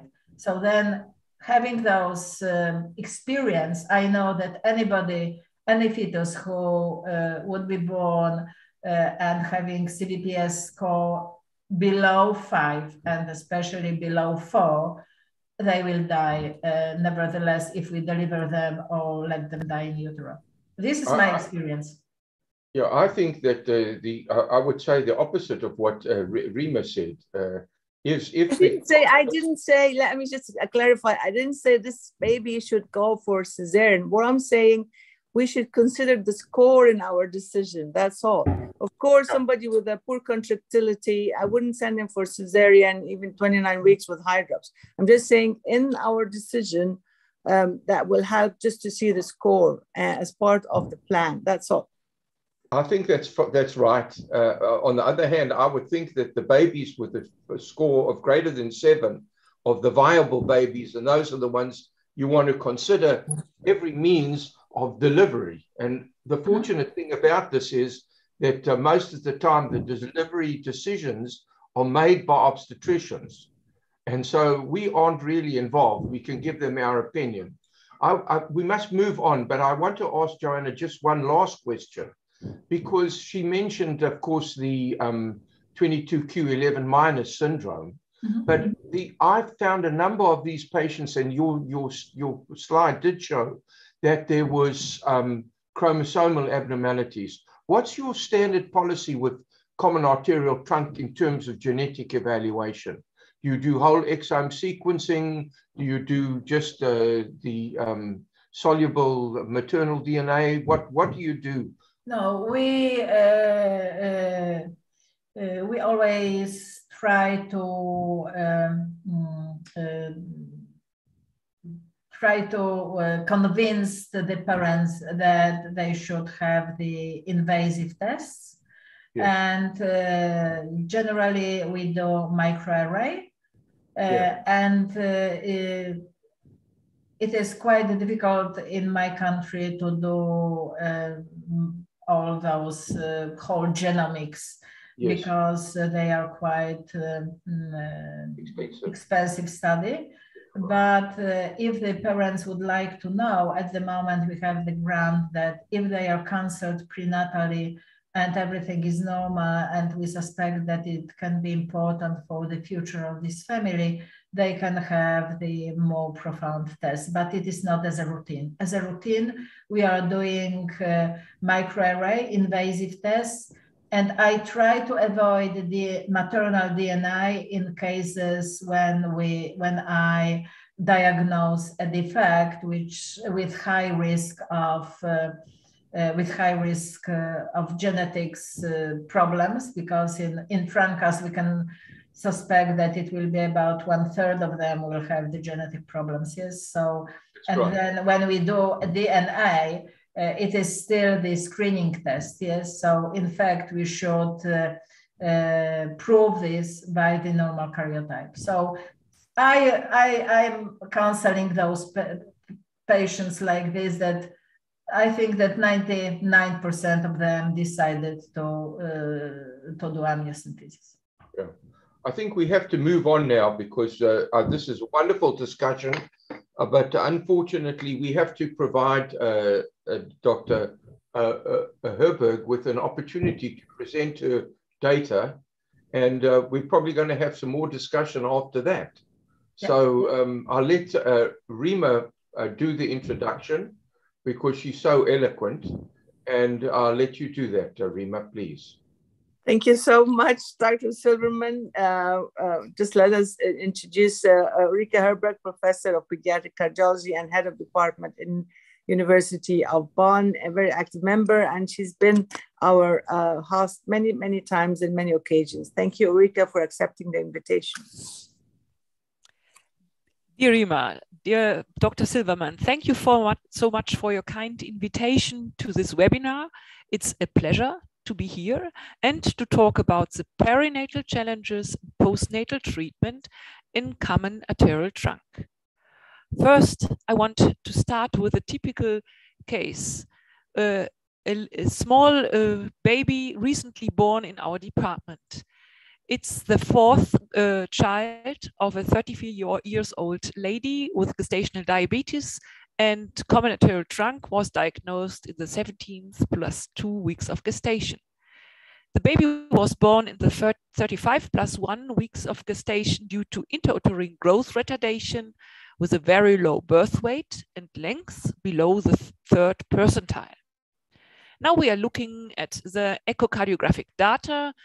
On the left upper uh, part of the screen, you are able to see the parasternal long axis with the left ventricle, right ventricle, the VSD, and the typical findings of a truncal valve, in this case, overriding the VSD. You can also see very close to the left atrium, uh, this round area, which is this coronary sinus, which is in this case, the sign for left persistent vena cava. If we go further down here in, this slide, we do see a kind of five chamber view.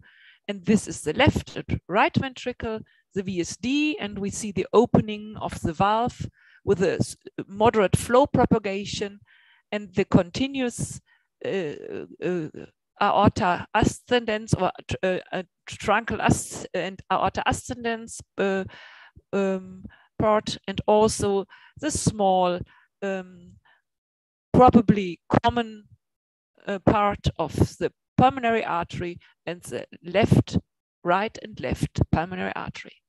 If we then look at the short axis in this case, of the truncal valve. So if we cut the truncal valve like in this position, we are able to see the truncal valve as well as the right and left pulmonary artery.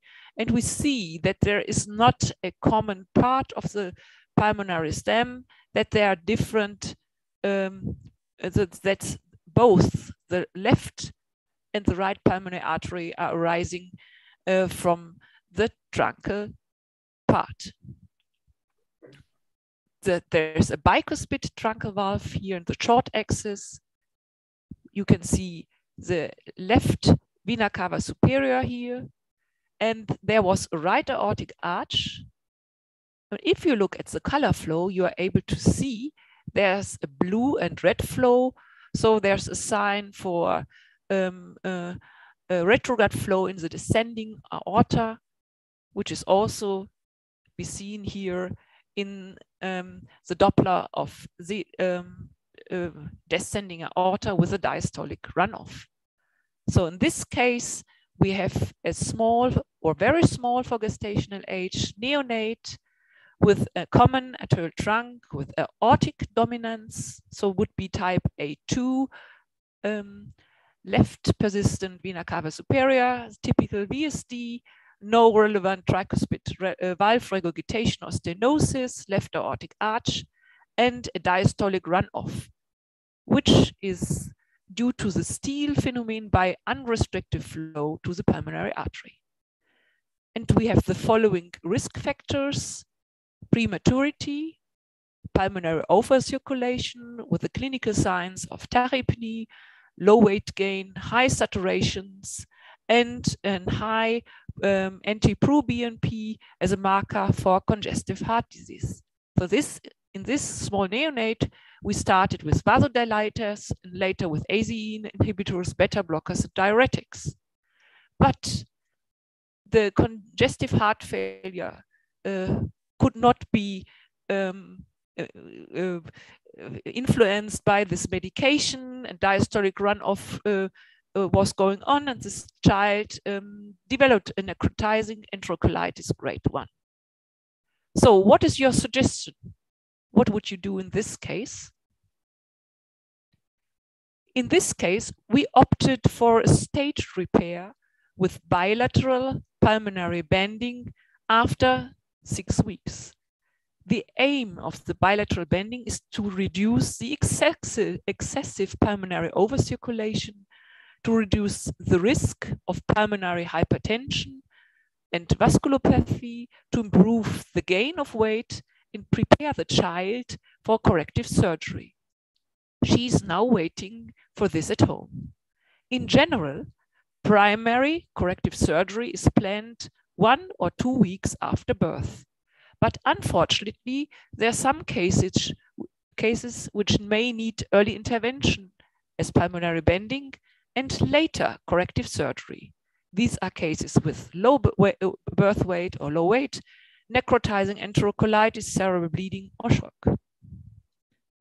Recent recommendations have been published for the optimal management of cases which common, with the common arterial trunk. And these recommendations um, cover nearly all topics regarding CAT, covering the pre and postnatal period long-term outcomes. Before planning corrective surgery, prenatal diagnosis has to be confirmed. And in general, transthoracic echocardiography is the imaging method of choice for pre and post-surgical images. Additional imaging may be necessary um, in those cases um, who show a pulmonary dominant type, and then CT or CMR may be necessary. Rarely, catheterization is needed as cath is, has also been determined as risky procedure in these neonates. The only case when cath is mandatory is a case with late presentation who needs to rule out or to determine the grade of pulmonary vasculopathy, as well needs a pulmonary vasoreactivity test. Just uh, make it simple. So we have the two different types uh, of uh, common arterial trunk, the aortic dominance and the pulmonary dominance. And we saw this very beautiful on uh, the figures uh, which have already been shown. Preoperative echocardiography has to show the following findings. There's a single trunk overriding the IVS and there must be a VSD or mostly there's a VSD. There are some rare cases without. You have to look for additional VSDs, evaluate truncal valve stenosis or regurgitation, which is a significant risk factor. So there's a quadricuspid valve and a valve with pr probably one or two cusps. Look for the aortic arch. Is there a right aortic arch, which will be about in 33% of cases? And this is associated with genetic anomalies, or will there be an interrupted aortic arch or coarctation? And we also have to look for the origin and size of pulmonary arteries, so for duct or collaterals. And coronary artery anatomy is also very important, as um, already shown by Monique, single coronary arteries and coronary artery malformations are quite often and do increase the post or perioperative risk. In this case, the left coronary artery arises from the right coronary arteries and has a posterior course. Pulmonary and more often systemic venous anomalies can be also seen, like the LSVC in our patient.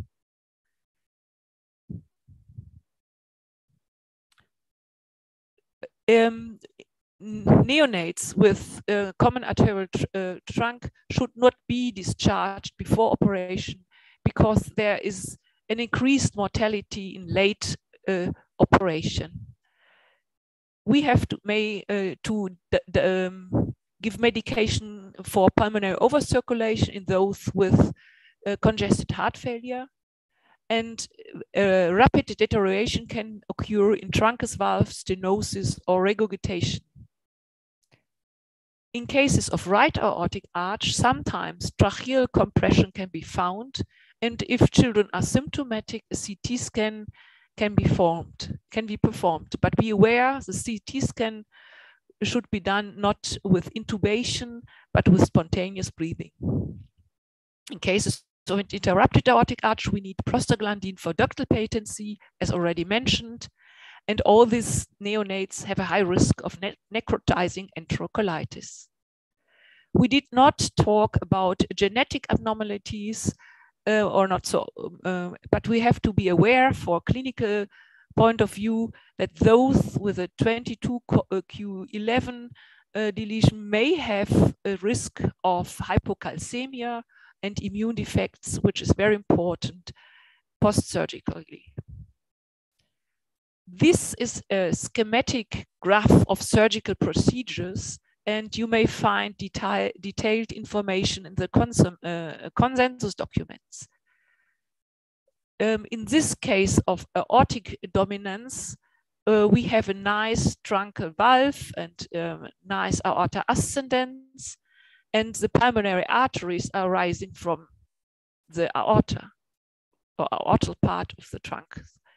So the pulmonary arteries have to be excised. There has to be a ventriculotomy.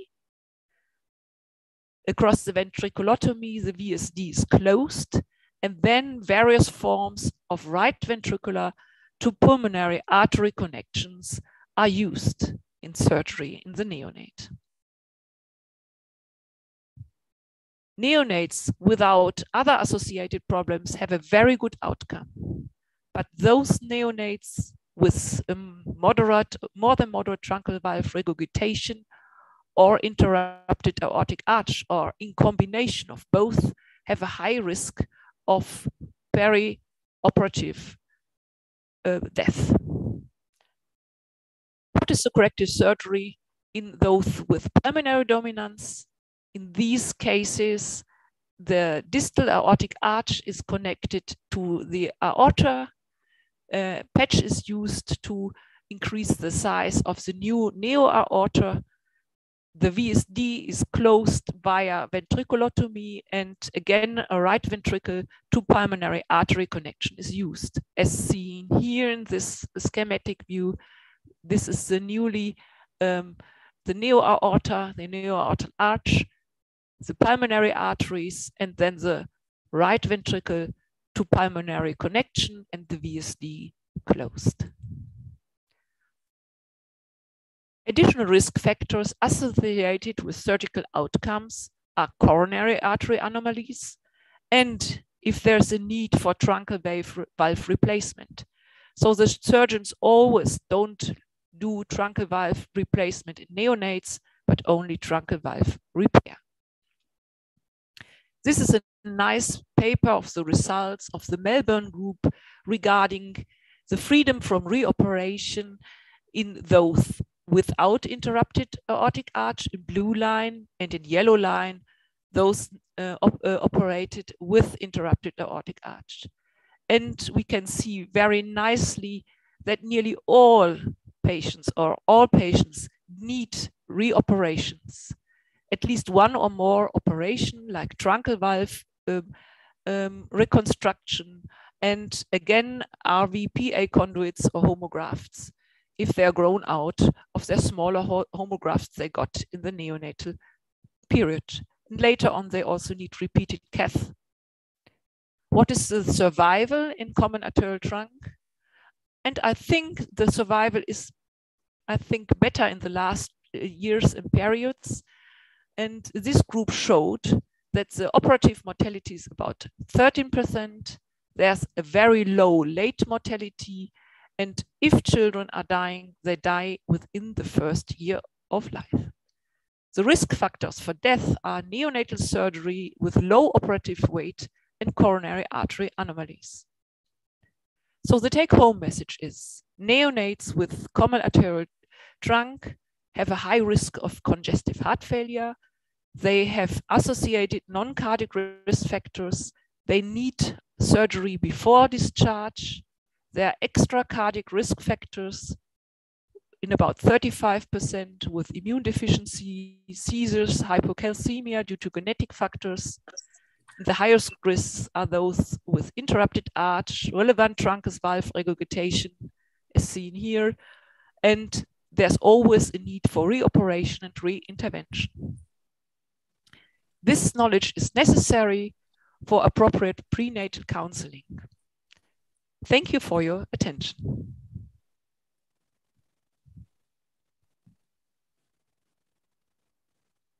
Thank you, Rika. Uh, Norman, do you have any comments? I'll just have to ask the permission to talk every time now. Yeah, I, I do have some comments. Um, in our own experience uh, in Truncus, which is quite extensive, uh, we have uh, not done uh, pulmonary artery banding except in the extreme uh, uh, premature infant. Our surgeons feel that primary repair gives a better result, and even down as low as 1.7, 1.6 uh, kilograms, we have done formal repair of those patients. I think that, that that is important. I think there's one message that needs to come out about truncus, and I think Ulrika showed it beautiful beautifully in that she said that you don't discharge a, a neonate with a common arterial trunk from the unit because the optimal time for a repair is about three to four weeks. After three to four weeks, the morbidity and the mortality start to increase. And that's not changed over the course of the time. So when you have a common arterial trunk, the time for operation is early. And the, there are two big problems in common arterial trunk. The bad news is the valve itself. And I think uh, we saw very beautiful examples uh, that um, uh, Monique showed us of the abnormal truncal valve. And the valve is often abnormal in the truncus. And so that is the long term bugaboo because truncal insufficiency is a big, big problem. And it's certainly something that can be attacked by the surgeon at the time of the procedure, especially if there's a quadricuspid valve. You can suture some of the valves closed and you can do um, surgery on the valve to improve the prognosis. So it's not that uh, they can't be done, but it's an added risk factor. The other thing that I wanted to talk about is the question of, and you showed this very beautifully, Ulrika, with your coronary anomalies. Dr. Um, da- Damien Bonnet, Damien Bonnet in Paris says the incidence of coronary anomalies in truncus arteriosus is 100%. Well, that may be a little high, but I think that the importance of saying that is that we all have to pay attention to the, uh, the arterial valve. And there is an incidence of sudden death that occurs after truncal repair. And a, a, many of those may be, in fact, the fact that the coronary arteries are intramural. And this is something that the surgeons need to, to look at. But the high orifice of the coronary artery is a problem, and it's a problem surgically because if you take the uh, truncus off surgically and you take two bigger bites inferiorly, you can cut into the left coronary artery, which is running behind there. So that is something that, as an echocardiographer, we have to pay great attention to. But um, overall, uh, Ulrika, I think you did a spectacular job, and it was a real privilege uh, to uh, see your mind at work uh, in discussing this abnormality. Ulrika, I, I, I, just want to thank you again and uh, remember the beautiful days in Bonn with the picture you left. Now, um, the message um, that you're trying to say that if you have severe heart failure uh, in a premature baby, um, then banding uh, with, with, a truncus and, uh, and uh, good sized pulmonary arteries, banding is an option, right? And this is the debate that uh, Dr. Silverman is saying uh, is, is it depends on the surgeons and what they like and the center experience. Now, how how after the banding the heart failure improved? Did you continue? What was the, I mean? Give us a, a sort of a of a dialogue of heart failure doses before and after banding, so that the message can also help other people who have who don't have a surgeon who can operate at 1.7 kilos. So what we did, we continued the medication and uh, we discontinued diuretics, but we continued with the ACE inhibitors and beta blockers.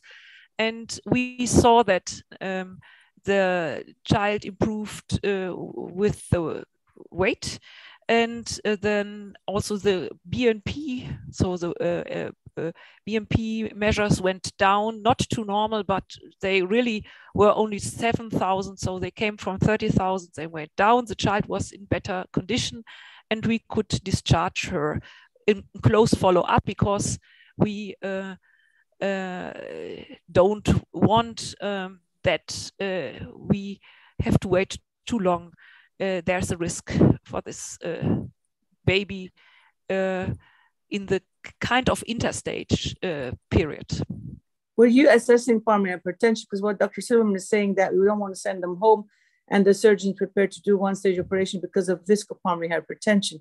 So in this child, how would you measuring the pulmonary hypertension in the follow-up and at yes, the chart? Yes, it's very uh, simple doing echocardiography because you can get the gradient across the pulmonary banding by echocardiography and you can um, then assess the systolic blood pressure and try to uh, yeah to estimate the pulmonary pressure.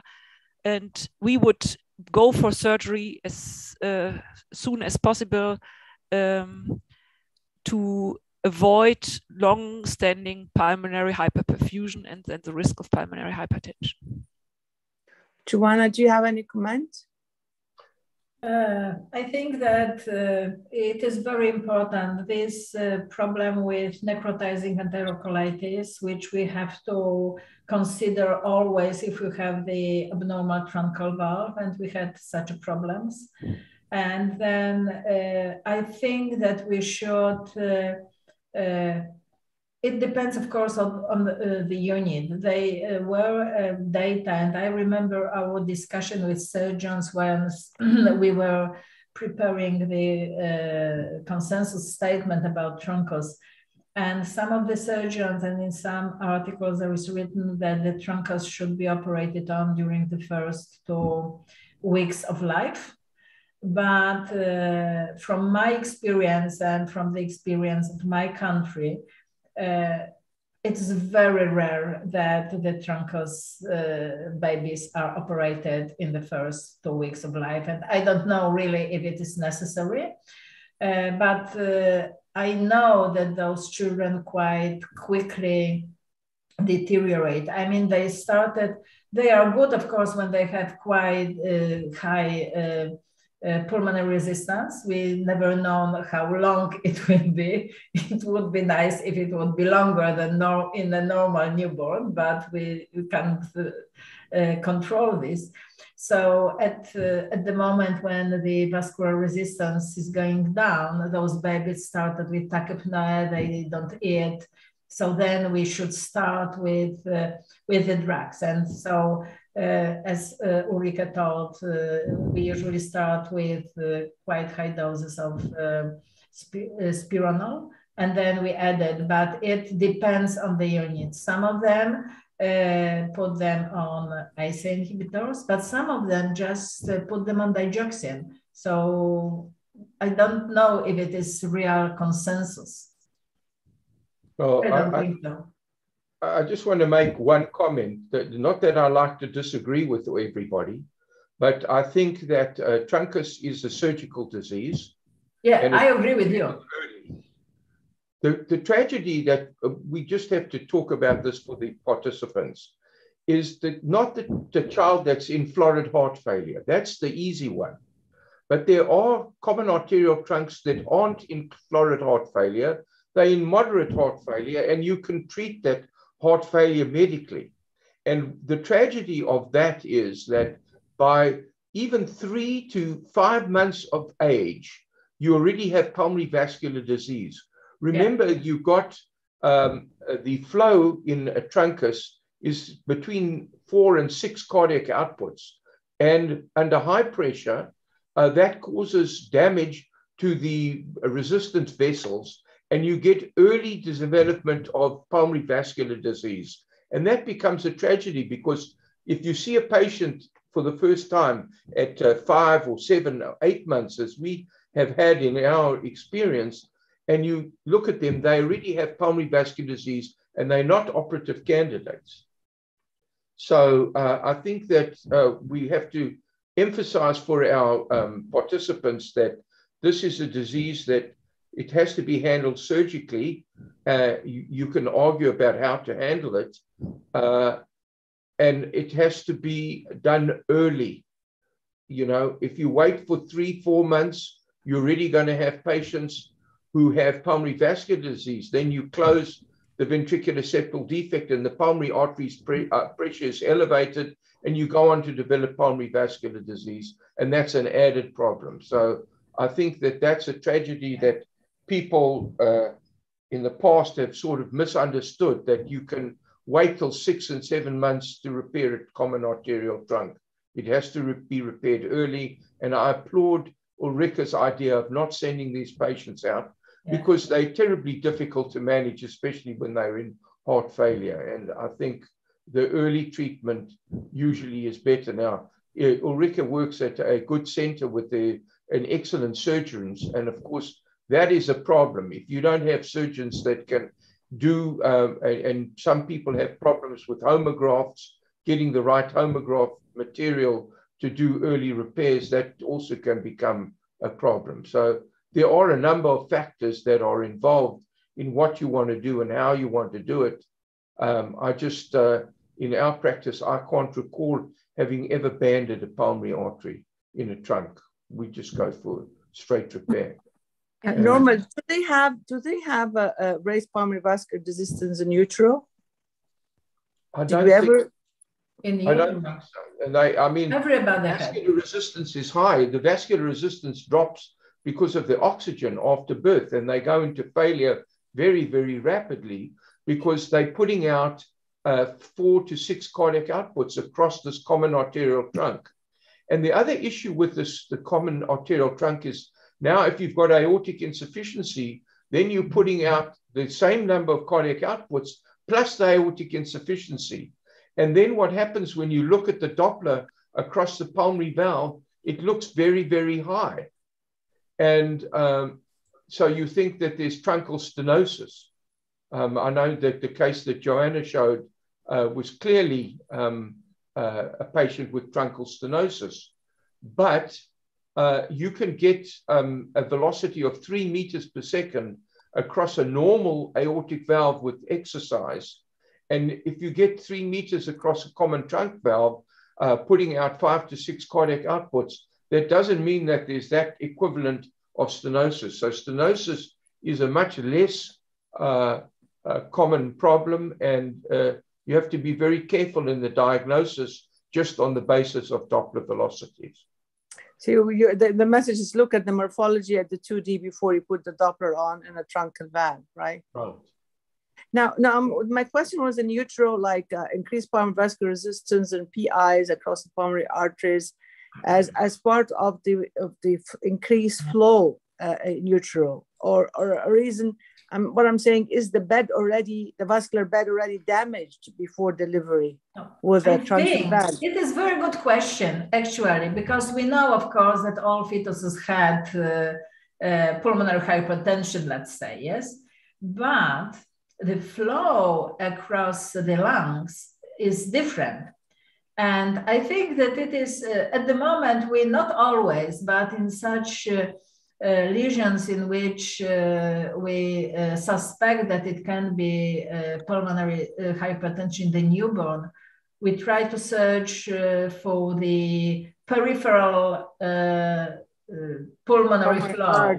Yeah. And it is quite interesting because you can see that this flow changed during the examination that, you know, you have the uh, diastolic flow uh, throughout the cardiac cycle. And then after 10 minutes, uh, there is very high resistance and there is no uh, diastolic flow. It is very interesting, but I don't know if it is value or not and if you can predict anything.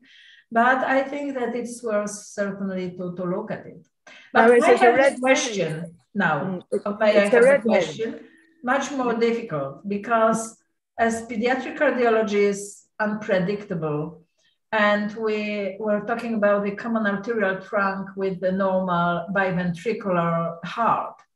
At the moment, I have the baby with the unbalanced AVSD with the severely underdeveloped right ventricle. So in fact, it is single ventricle anatomy with quite good mitral valve and with a truncus.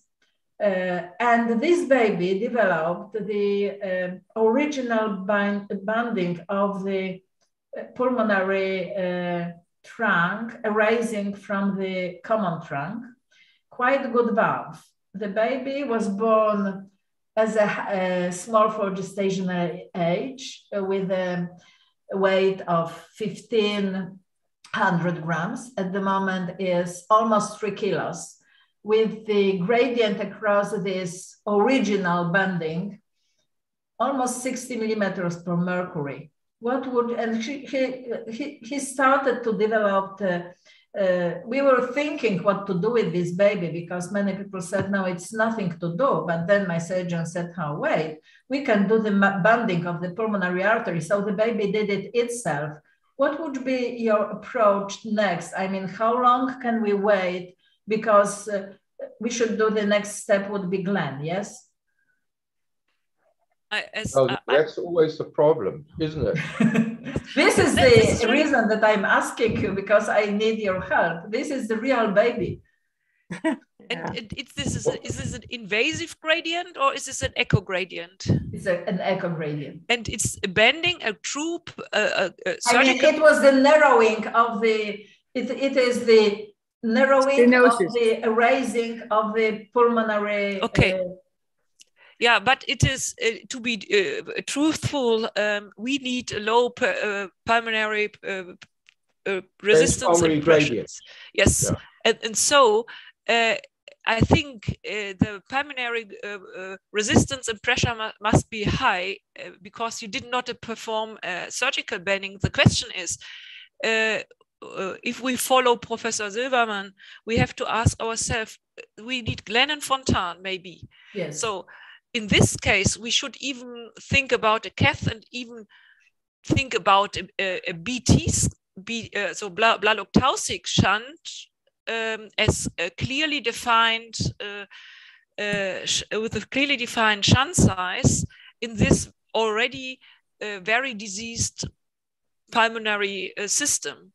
And uh, so, so, you would cut him before uh, now. Yeah, you have to, and you have to to mm-hmm. make sure. It is difficult, but I don't know um, if if you are able, even with a 4.1 uh, or 4.0 millimeter uh, Blalock-Taussig shunt, uh, this child has already pulmonary hypertension. So you have to use a defined diameter of a shunt from the aorta to okay. to the pulmonary arteries, and uh, uh, uh, you can use a 4.0 shunt and may clip the shunt mm-hmm. and see uh, get how the, the baby will be doing. Yeah, oh, just, and then okay. you have to wait, wait, wait, and see if you can do Glenn and Fontan. No, the baby is one month old, and it really is uh, should work growing nicely. So, so, so, and it was she was too small to do anything before. So you know, we had to wake. Unfortunately, he developed this narrowing. Yes.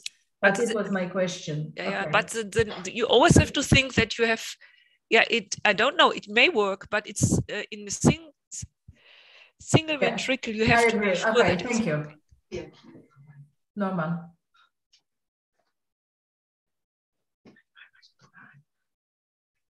Norman, Dr. Silverman, uh, what, what's your comment? What I don't have any comments of any significance to make on this issue. I think that the assessment of pulmonary hypertension is a one of the most difficult things in this condition. Mm-hmm. And as far as um, doing a, a Glenn, uh, I, I, think any patient that we get, that we can get over three months, we would prefer not to do a uh, a, um, uh, a, BT. BT. We prefer to go straight to the Glenn if it's possible. Yeah. And of course, the, the one thing that um, we haven't talked about is to measure the transpulmonary gradient. And that seems to be very important. Uh, it's a catheterization okay. measurement, but you, there's no way that you can go to a Glenn shunt without uh, preparing uh, the patient adequately and seeing whether they're capable of still getting it. And in this patient, there's a question of the pulmonary um, uh, vascular problem being present. So I think a transpulmonary gradient is important because if you have a high gradient, the chances of a successful Glenn are going to be very poor. Now, I want to ask a question for the panel. What about the use of sildenafil here? Sorry? The use of sildenafil? In which case? Uh, in, in, in, in, your, in, yeah, Viagra. In, in, in your case, uh, Ulrika, in Joanne, I mean, uh, you have, I mean, the, the if you have a pulmonary vascular, if you have what looks like clinical and echo-wise pulmonary hypertension, and you're preparing this baby for surgery, um, is there a place for for uh, sildenafil in the management? Post post surgical, we can use uh, uh, uh NO, and uh, if uh, the child has problems and you want to continue with pulmonary vasodilatation, you can give sildenafil, but before surgery, I would never do it. I would do it post surgically in early operation, early diagnosis, early operation. In those you wouldn't cases, do it because because could you clarify? Is it because of the increased flow, right? You would not do this anti uh, before surgery, right? No, because we have a shunt lesion, and yeah. if yeah. we lower the pulmonary vascular resistance, yeah, this is the increased flow. Makes no yeah. sense. Okay, uh, uh, Joanna, in your baby, I agree with Ulrika fully. Okay, so uh, the only place for sildenafil is postnatal after the ENO, after the ICU, and for the follow up in the outpatient, maybe trying to help the baby gain weight and and and and get over the surgery. Norman, do you agree uh, with the use of sildenafil? Yes, in... I think. Well, I agree with uh, Ulrika. I uh, I think that uh, it's got a place afterwards, uh, but that always, when you start having to use sildenafil, that sort of puts a flag up on the ultimate prognosis because uh, that says that there's some pulmonary vascular disease. And at that, it controlled, as in Joanna's case, where you're thinking you're dealing a single ventricle circulation, that's a real disaster. Listen, I just want to say that we've been going over two hours now. And I think that uh, for the sake of expediency, we have to bring the session to termination.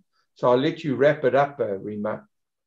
Well, I just want to thank Dr. Suleiman, who agreed with Ulrika very, very much today. He just kept saying, I agree to Ulrika, agree, agree. And this is a big praise, but I want to thank um, uh, Professor Dangel. I want to thank Monique. I want to thank uh, Dr. Silverman, who always made a, added a beautiful flavor. So the take home message here is that we're dealing with a surgical disease we are dealing with something that should not be delayed as much as possible because of the risk from hypertension. We are dealing with a disease with a strong genetic background where you really, with every patient, antenatally, we either do whatever genetic panel you have, and I would go for uh, whole exome sequencing if possible. Number four, check the immunodeficiency of the babies and the thymus antenatally if we can locate the thymus or not in the three vessel view. I think that's also something that we have to uh, look antenatally and postnatally the the DiGeorge or uh, or whatever variants the 22q they have. And I just want to thank everybody for this beautiful and very interesting talk. Thank you for accepting the invitation of Congenital Heart Academy. Uh, for uh, those who did not come early, as me, you can watch the whole series uh, on YouTube on the Congenital Heart Academy fetal series. This is the 14th episode, so you can have, you can really listen at the and watch the 14 episodes on the YouTube channel. Thank you again, and have a good day.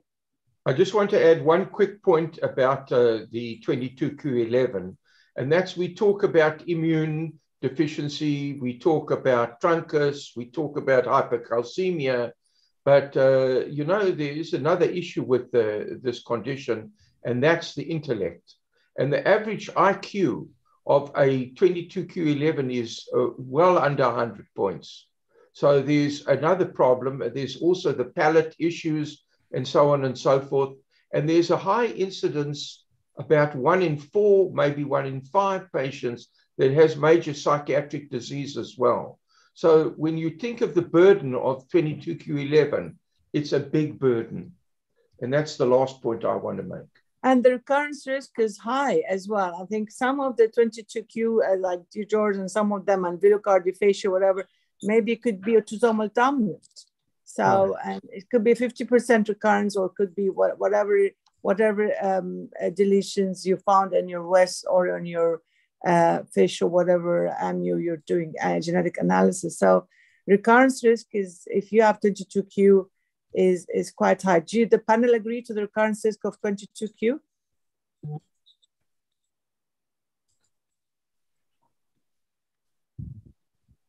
Well, any comment? I would just uh, like to thank you, all of you, to inviting us. And I think that uh, it was a very interesting uh, uh, webinar and meeting, and it was always a great pleasure uh, to discuss with uh, Professor Silverman and with you, Rima, and of course with my great colleagues Ulrike and Monique, and I am dreaming about our next course. Yeah. We'd like to thank the AEPC because this is part of the fetal group of the AEPC. Uh, thank you so much for accepting the invitation of Congenital Heart Academy. You were all wonderful today everybody should get a round of applause. Great talk. Thank you. Well, thank nice you both for your charming chairman, chairmanship. And also, uh, thanks a lot. It was wonderful to see you, Ulrika and Joanna, also again. And I hope the next time will be a physical meeting again. It would be wonderful. Sure. We'll be very happy. to try to keep you busy. Yeah, yeah, yeah. okay, well, have a nice evening, everybody. uh, Goodbye. Goodbye. Bye. Bye. Thank you very much. Bye-bye. Bye-bye.